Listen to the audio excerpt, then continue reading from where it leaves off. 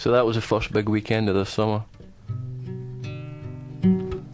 Starts Thursday as usual with a canteen quiz, and again no one wins a big cash prize. Later I do my sound bloke routine by approaching Gina's new boyfriend to say that he shouldn't feel there's any animosity between us, and then I even go and make peace with her. Shouldn't have bothered. Then on Friday night we went through the Arches.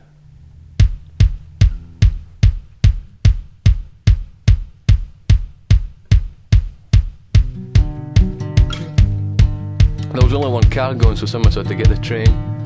We got through quite late and we went to a pub to take the gear. There was no problems getting in, we saw others waiting in the front of the queue, so we skipped in. It was a good night, everyone was nutted and I ended up dancing with some blonde girl. I thought she had been quite pretty until last night when Matthew informed me she had in fact been a pig.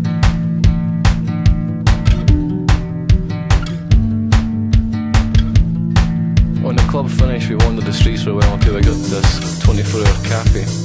I didn't like look at it, so we left and got a taxi back to Morag's flat. I couldn't sleep, so I sat about drinking someone else's strawberry tonic wine and trying to keep everyone else up.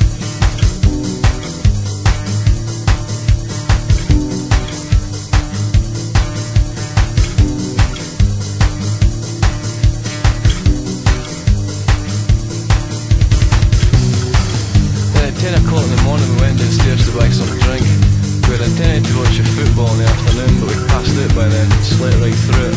I winked to find that England had won 2 0. Then went to get the train home, had a few in the station bar. We had some stuff left for the previous night's supply so we, we got home we decided to go to John's Indie Disco. Same story as Friday, lots of hugging, lots of dancing, etc. etc.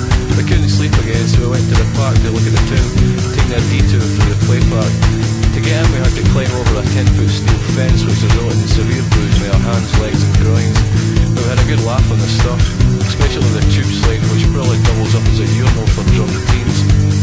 Then we walked through the woods to look at the tomb. It was a big disappointment, but the mist on the lake was cool. Sunday afternoon we got up to John's with a lot of beer and time to watch The Simpsons. It was a really good episode about love always ended in tragedy except of course for Marge and Homer. I was quite moved at the end and to tell you the truth my eyes were a bit damp.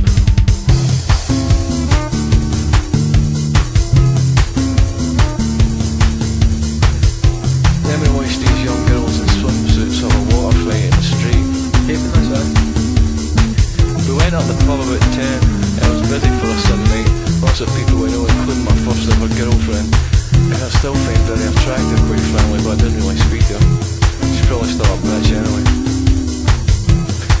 friend Gillian was there. I had a chat with her, she was still quite pleasant.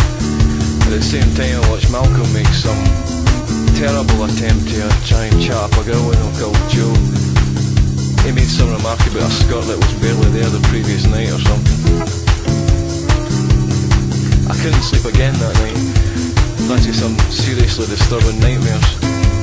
Matthew said I should cut down on the cheese.